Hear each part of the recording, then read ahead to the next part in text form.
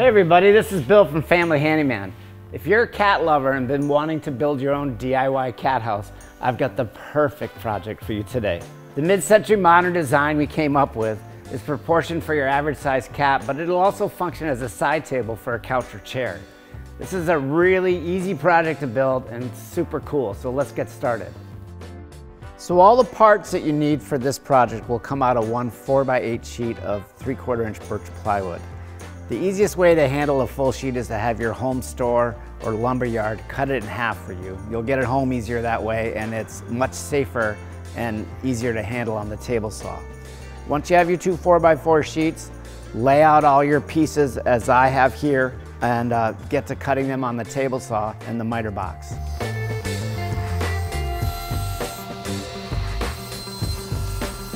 After cutting out all my panels, I then ripped inch and a half strips on the table saw, which I took to the miter box to cut my cleats and build up pieces. So now that I have all my parts cut out, the first thing I'm going to assemble are the sides. That involves the side panel and these cleats, which go flush with the bottom, and we're just going to glue and pin those on with a nailer. I'm using inch and a half 18 gauge nails here that go in the gun and just standard wood glue will do fine.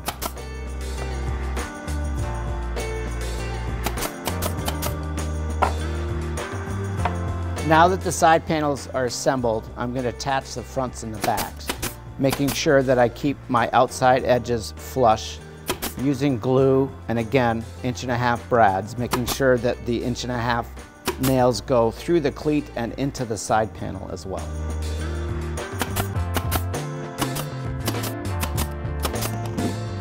To assemble our bottom, middle, and top platform, we're gonna add these inch and a half wide uh, three-quarter build-up strips.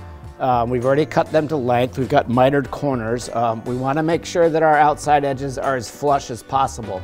So it's a good idea to dry fit things now and make any miter adjustments that are necessary. Also check your platform panel. Make sure that you're putting the bad side down. Um, I'm gonna attach things here with wood glue again and I'm changing to inch and a quarter brads so that the nails don't poke through the top of the platform.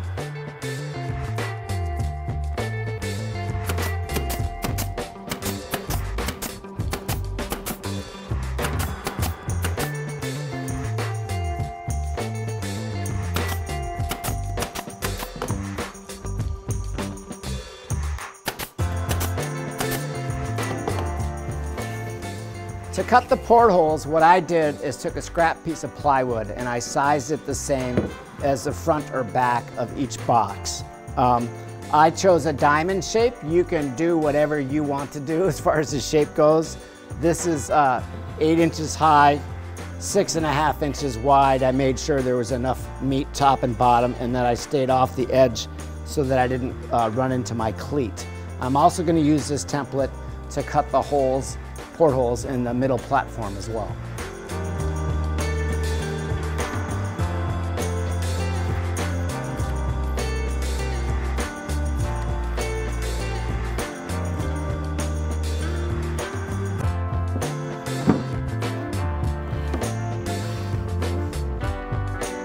With the portholes all laid out, take a half inch drill and put pilot holes in opposite corners of the diamond. Then use a jigsaw to cut out the shape. Once you're done with your cuts, you can clean up the edges using a sanding block and some 120 grit sandpaper or a fine wood rasp. With the portholes cut out, it's time to sand all the exposed plywood edges flush using a random orbital sander with 120 grit paper. Make sure you take the sanding block and round over all the hard edges as well. So in order to attach the platforms to the boxes, you want to start with the bottom box turned upside down and attach to the bottom platform there using two inch trim head screws. Then place the top platform on the top of the upper box and again attach with two inch trim screws. If you're painting or clear coating this project, now's a good time to do so to the inside of the lower and upper box before attaching the middle platform. Then place the middle platform on top of the lower box assembly and attach with trim head screws.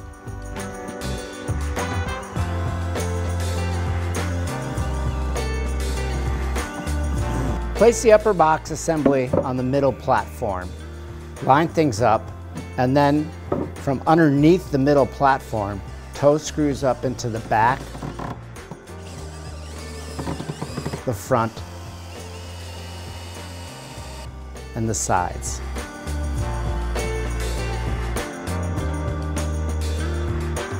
So there you have it, the Cat House side table.